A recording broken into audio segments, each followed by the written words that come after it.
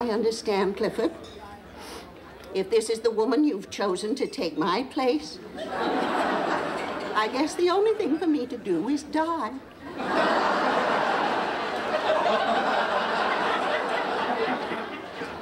Well, what are you doing?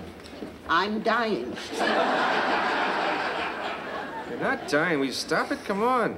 No need to take me to the graveyard, Clifford. Just set me next to your tubby friend there.